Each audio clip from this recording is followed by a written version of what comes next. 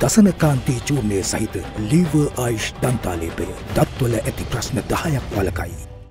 ගොඩාක් වෙනද සැල්වලට ගියාට පස්සේ අපි දැක්ක දෙයක් තමයි මේ බුලත් විට අලෙවි කිරීම සඳහා සකසලා තියෙන ආකාරය. ගොඩාක් ඒවා තිබුණේ printed කොළවල. එහෙම නැත්නම් කාබන් නිරි ඇදිච්ච මොනවා හරි ඒ වගේ දේවල් වල තමයි ඔතලා තිබ්බේ. සම්පූර්ණයෙන්ම මේ ආකාරයේ කඩදාසියක ඔතලා තිබීම තුල මොකද කිසිවෙක් බුලත් කොළයක් සෝදලා ආහාරය සඳහා ගන්නෙ නැහැ. ඒ එහෙමම තමයි ඒ තමුන්ගේ අනුභව කිරීම සඳහා ගන්නෙ. ඒ තුල වෙන්නේ අර කොළවල තියෙන printed කොළවල තියෙන සම්පූර්ණ කෙමිකල් එක පුද්ගල ශරීරයට අහිත කර පිළිකා කාරක පවා පුද්ගලයාගේ ශරීර අභ්‍යන්තරයට යනවා. ඒක සම්පූර්ණයෙන් නීති අනුකූලව බැලුවත් ඒක නීති විරෝධී ඇසුරුමක් හැටියට තමයි අපිට පේන්න තියෙන්නේ. ඒ නිසා අපි සියලුම ආපන ශාලාවල් වල හිමිකරුවන් මේකේ ප්‍රමිතිය මොන ආකාරයෙන්ද සැකසිය යුත්තේ කියන කාරණේ පිළිබඳවත් අපි දැනුම්පත් කිරීමට කටයුතු කරලා තියෙනවා.